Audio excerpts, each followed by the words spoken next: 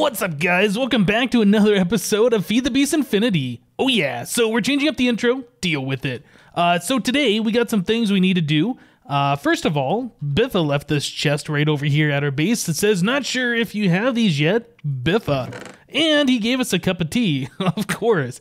Uh, Mesa Plateau F biome, I'm pretty sure I have that one, and Extreme Hills Plus biome. Yeah, I'm pretty sure I have this one too. But thank you, Biffa. I will take your tea, and I will drink it as soon as I'm hungry because you have to be hungry to drink tea in Minecraft these days. Anyway, guys, so we just updated the server. We're running Feed the Beast Infinity 1.1.0, and everything is pretty much the same.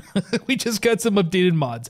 Um, I'm not actually sure what all has changed. I know one of the default settings is they turned off the the headcrumb heads. So, like for instance, I guess these guys that dropped off uh, these FTB players that we have running around our pack um, I got a bunch of like these blaze heads and a bunch of cow heads and all this stuff. Yeah, I don't think we're going to be getting any more of those unless we change that config option. I know some people uh, like that option, so we might put it back on. I don't know. So, got some stuff in my inventory here. Bunch of ender pearls. Uh, I would show you this, but I have been told not to.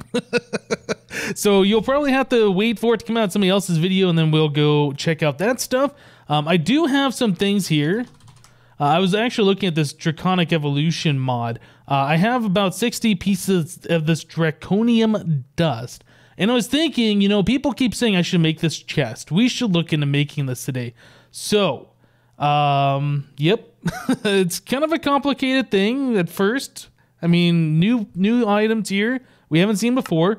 So, in order to make uh, these Draconium ingots, we need to make Draconium blend and you make that by one iron and four this draconium dust. And I think I saw that I needed a lot. no, wait, how much did I need? Let's go check this out. I see somebody sneaking into my base. Who is it? Who is it? It's Joe. Okay, maybe he's doing his Thaumcraft stuff. Um, let's take a look at this real quick. So we need one, two, three, four of those pieces. Whoops. And then we need four more. And then each one of these requires this stuff. And so it's a, I think we need 16 of these maybe? I don't know. I'm trying to do math and i'm trying to record a video at the same time. It just doesn't work. Rule of thumb never do math on camera. Anyway actually you know what? I'm gonna make eight of those because i think i probably mathed that incorrectly. So we'll do eight of those. Let's go ahead and surround that with the draconic draconium dust i made one too few. All right so it said that we could take this and we can put this into an alloy smelter. I assume our redstone furnace would do it just the same, but this goes a little bit faster. So we'll put it in here and this should smelt each one of these into two ingots at a time. So yeah, we get three dust and it turns it into six draconium ingots. Sounds about right. 12 and finally 16. Awesome. Okay, so now we needed to make some other things over here. It said we needed to make a diamond chest. Let's actually look at this recipe again. Uh, so we need to make these obsidian chests, which is actually diamond chests surrounded by obsidian. Do I have obsidian? I know I mined some before. Oh, I do. I got plenty. Okay, so we have that obsidian. We need to make the diamond chest, which is uh, gold chests. Oh, dang. That's a lot of stuff. All right, tell you what. Let me make these items up real quick, and we'll be right back. All right, so we got it all made, all ready to go. There we go. There's a draconic chest. Uh, shift right click with an empty hand to access color options. Okay, so I don't know really much about this chest. I know it uses power, and that's about it. Let's set it down. Let's take a look. Okay, so we got. Ooh, this thing takes uh, one million RF. Got it. Looks like we can put an energy cell in there. So let's go ahead and power that.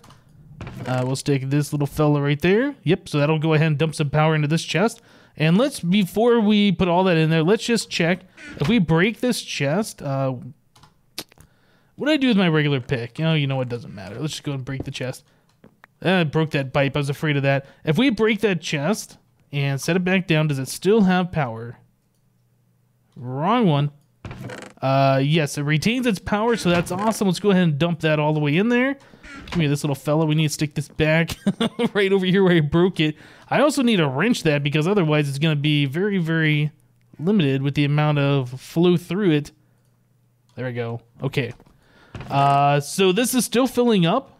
Right. So this is like a furnace and it can do some cool stuff. So what I heard is if you do the draconium dust in the furnace here, instead of giving you two pieces, it actually gives you four pieces. So doubles the doubling. so that sounds pretty awesome. Let's give that a go. We'll try one of these real quick. We'll make one dust. Need four of these. Let's go ahead and get that little fella over here. And we'll stick you right there. And sure enough, yeah, we got four of those. So that is really, really awesome. Okay, so that's a way that we can get even more of the draconium ingots. Um, so besides that, it's got a little crafting grid in here. It can hold a heck of a lot of stuff. I'm actually not sure how much this is. 1, 2, 3, 4, 5, 6, 7, 8, 9, 10, 11, 12, 13, 14, 15, 16, 17, 18, 19, 20. 1, 2, 3, 4, 5, 6. 26 times 10? Is that 10? I don't know. I'm not counting anymore. We did enough counting there. So it's like over 200 slots. It's crazy. This chest is amazing. So I think we're going to use this chest as like our main input for stuff uh, from our quarry. I think we're going to have like a spot for like dirt and a spot for cobblestone. Uh, everything else I think we're going to dump into this one chest. I don't believe it uses power just to put items in and out. I think it only uses that power uh, when you're smelting things. I'm pretty sure that's how that works. I guess we're to find out here in a little bit, huh? Um, where did I put my RF thing? I guess it's still right there. Okay, so retains that inventory too. That's awesome to know. So we'll go ahead and fill, let that thing fill up. Uh, so what I want to do, I want to go to the quarry age. I want to set up a quarry, but before we can do that, we even need to make ourselves a quarry. So let's go ahead and look at doing that. So we could do the regular Buildcraft quarry, which is super, super slow. I don't think there's any upgrades for that. Or we can do the Ender quarry. And this is something that I wanted Ender pearls for. So yeah, this is also going to be kind of a, a, process to make. We need Obsidian and Ender pearls, which we now have. Uh, we need Eyes of Ender, so we have the Blaze powder, thanks to DMAX Blaze Farm. Uh, so water bucket lava bucket, and I'm not sure what all this other things are. I'm sure it's all pretty much the same thing. Chiseled quartz. Okay, so we need burnt quartz. A lot of diamonds. Uh, some kind of a sapling. Yeah, let me go ahead and craft some stuff up, guys, and we will be right back. My goodness, guys, that was a heck of a lot of crafting. So, there's our ender quarry. Yeah, we got everything all set here. So, there we go. I got a few more of these ender infused obsidians left. Um, so, I've also made ender flux crystals and I made a QED. So these are a little of the same amount of stuff. I was gonna say it's a little expensive. It's really not. Uh, Obsidian Ender Pearls. Early game, if you don't have Ender Pearls, sure, it's expensive. Um, four diamonds, some burnt quartz. We got this from the Nether already, so that's not too bad. Uh, the quartz, the burnt quartz, is uh, just a block of quartz and you smelt it. Now, I had a problem earlier. I took a block of quartz and I smelted it in the alloy smelter over there, which it says it can be smelted in, and actually turned into fused quartz. So I switched them from regular vanilla blocks of quartz to the block of quartz pillar. Anyway, uh, I smelted the pillar blocks and those turned into burnt quartz. So we were all good there. Okay, so the reason why I made the Enderflux crystals, oh, you know what? This is the recipe for those two. More of those Ender infused obsidians and Eye of Ender. Uh, the reason why I made these guys is because we need to make ourselves uh, these guys right here, the ender markers. These are how you uh, set up the quarry, the extra utilities quarry, uh, without putting fence posts everywhere. You can put down these markers. I haven't actually ever done this, uh, so I might be incorrect. Hopefully not. It looks like I'm actually going to need a little bit more of this ender infused obsidian though, so I should grab some more of these items and make them up. We got plenty more obsidian. We got plenty of ender pearls. Let's go ahead and do this right now while we are at it. Okay, so that goes there. That goes there. I'll make that many. That should get us going. Okay, perfect. So QED. I've, I don't think I've ever actually made one of these. Uh, my understanding is that this thing is almost exactly the same as like the Buildcraft, um, whatever that thing is called you know the laser table thing i don't i don't remember i honestly don't um so we're going to hook this up and it's going to be a temporary thing because this is not going to stay in our spawn base but we need a place to actually make this stuff so let's go ahead and get this going i believe i can put the lasers like right here i'm calling them lasers they're not actually lasers but they might be lasers but they're not lasers anyway uh, we need some more pipes Do, do. Actually, I think... You know, I'm just going to steal these pipes for now since we don't need this power. Actually, I could just use this power right here, right? Um, I'm trying to think of what the best way. I think we're just going to place pipes right like that. We're going to wrench these guys and give them like the highest limit. Just like that. Steal one of these wooden pipes. We need that. Right here. Let's take this guy. And I believe it's configured for the bottom. Okay. I don't see these connecting. Uh, maybe we have to power this guy. Honestly, I don't know how this thing works. Uh, tell you what, let me figure this out and we'll be right back, guys. Uh-oh. Something's happening. Does that not take power? Is it? This isn't being powered. Maybe this doesn't take power at all.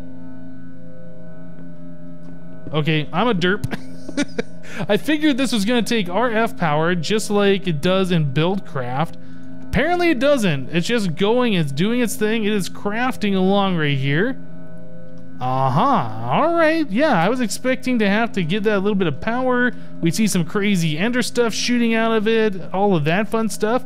Nope. Like I said, I haven't actually used a QED before. Anything that I ever needed that for, I believe other people on the server have just given it to me, so I wasn't sure on how that actually works. Now we know. Looks like it's a pretty simple process. All right, and we're all done here. Okay, so there's one ender marker. I need to do this a few more times, so let's go ahead, get this going. Uh, obviously, it'll take a little bit of time to process.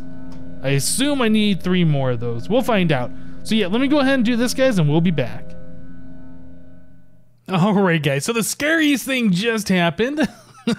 I came through the portal here for the mining age, and as soon as I came through, I was being attacked by a zombie. Or some kind of a special zombie set me on fire or whatever. Maybe it started burning in the sunlight. I don't know. But yeah, I got down to like half a heart finally before that went away. I was able to kill him, but yeah, I lagged a little bit. Anyway, we didn't die. We killed our zombie. We're all good. okay, so I got everything made up that I think we're gonna need. Uh, we got some better barrels for cobblestone storage. We got a draconic chest for ore and other stuff storage. We got a quarry. We got our ender markers, and we have a hardened energy cell for power for now. We're gonna have to figure out better power stuff. And we also have some transfer pipes and stuff like that to get um, our cobblestone where it needs to go. All right, I think we got everything set up. So now the first thing we need to do is actually figure out where we are going to put our quarry. I don't think anybody else has made it into this age yet. I don't see anything around that looks like something that people have done. Okay, so I think we'll just go ahead and set up our quarry over here. Now the problem is with these uh, ender quarries is they turn everything into dirt, and since everything is mycelium around here, it's going to be pretty hard to tell uh, where people have mined. I don't know how we're going to figure that out. Maybe we will put torches down or mark out things with torches. I don't know. We'll have to figure out something. Maybe um let's see which which way is the exit? Yeah maybe if we have mushrooms that are all dirt that'll give it away i bet that's that's probably what we're gonna end up doing. Okay so let's go ahead and get this stuff set down. I've never used these ender markers. I don't think i've ever used the ender core no i have used the ender quarry. How do these work? Do you just right click them does it have to be like oh, okay so now they see each other I see. Okay, so that's how these guys work. Yep, that makes sense. Okay, so I think you can set these up as big as you want. Uh, we don't need to go super big right now. So what are we at? We are at 54? Yeah, 54. Let's go over to, oh, I don't know. 104? Sure, that's like a 50 by 50. That should be good. Uh, is it right here? Yeah, that looks like that's in line. Okay, so this direction we are at 30, so we will go over to 80. Let's try and stay along the same axis. And right here. Aha. So now we just need to complete the box, put down one more of these things. I assume we have to actually make a full square. I don't know for certain. There's our other marker over here. Okay, we're gonna line up with this one and that one. Right there. I think I'm off by one.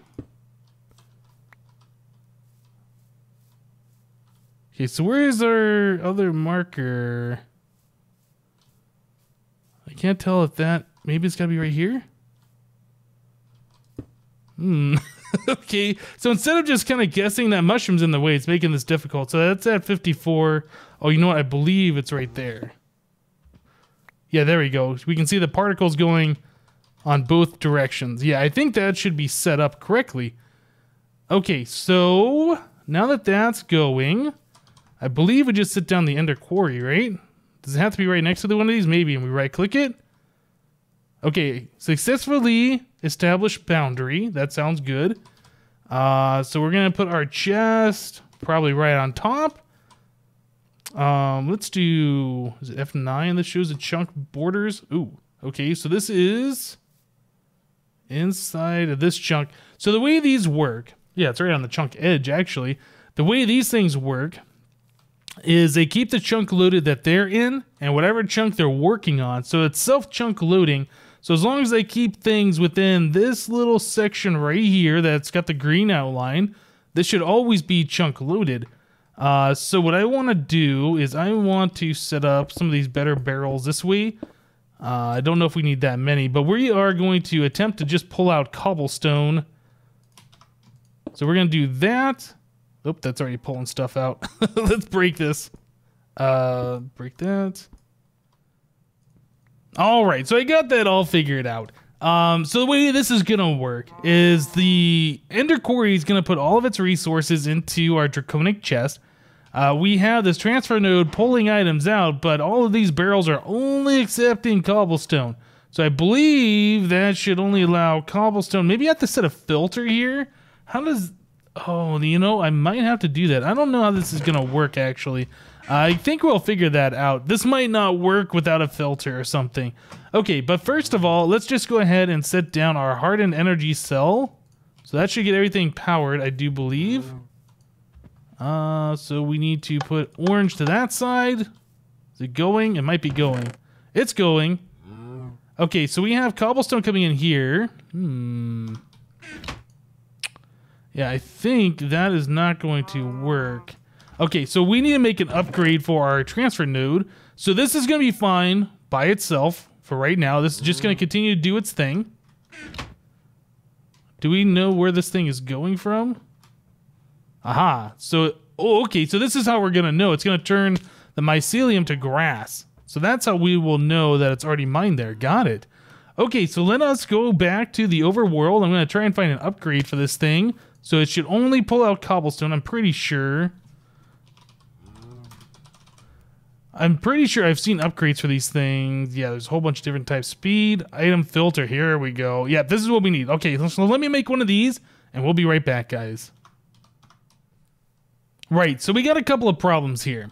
Uh, first things first, let's go ahead and give this a try. So we're going to put the item filter in cobblestone. If you right click on this thing, you can set a filter. So we have cobblestone there. So we need to put this guy right there. Let's get the ender pearls out of there. So now cobblestone is the only thing that should be coming through. And yes, now that it's filling up, perfect. That's what we want. Uh, we also have a stack upgrade that I made. So that should pull out 64 at a time. And that should go into the barrel stacks at a time. Yep. Okay, so that is good. That takes care of our cobblestone problem. Uh, we've gotten a decent amount of stuff in that short amount of time. That's not bad. Problem is, we're out of power now. so we got to figure out what we're going to do for power. Wow. Okay, so we got a decent amount of stuff. We got 7, 10, 4 copper, 14 iron, uh, a couple yellorites, some Certus quartz. Yeah, that is not bad, but all of that for 200,000 are, is that 2 million? 2 million RF? Hmm.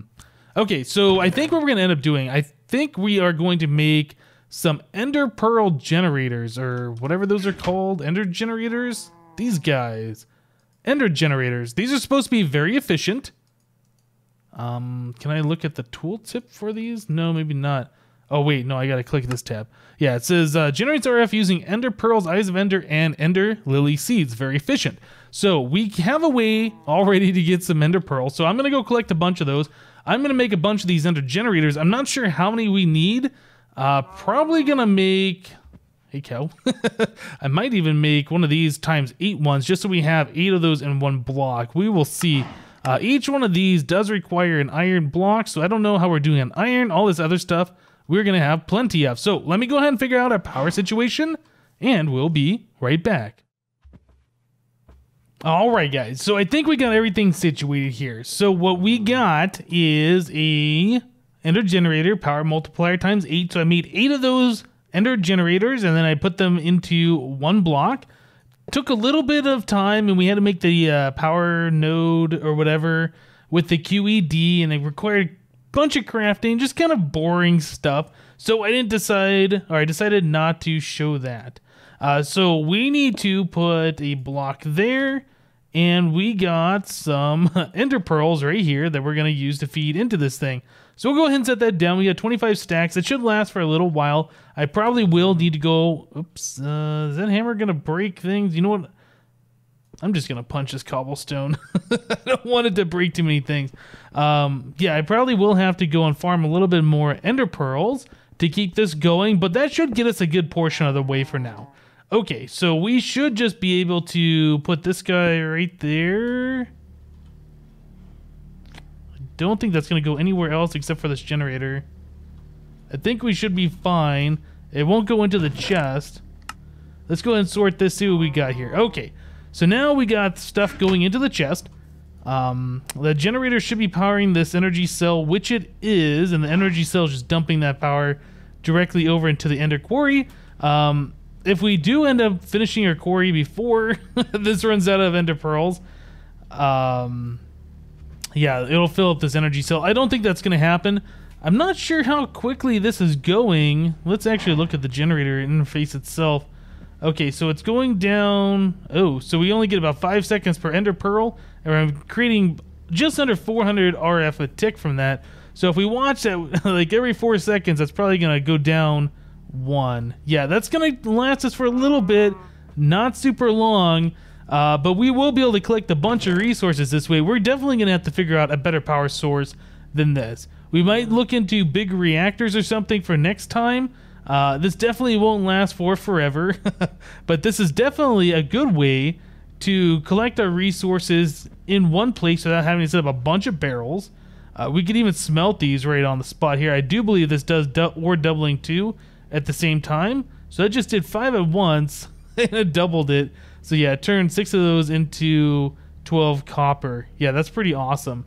Okay, so I think I'm going to let this run. Like I said, I'm going to farm some more ender pearls. I'm going to try and get as much resources done as possible. Um, oh yeah, that's right, because it's going to do one chunk at a time. I think we will have to check out big reactors, and we will most likely do the next episode to get a bunch more power to keep this going. All right, guys, that's it for today. Thank you guys for watching. Remember to leave a like on this episode if you did like it, and we'll see you next time.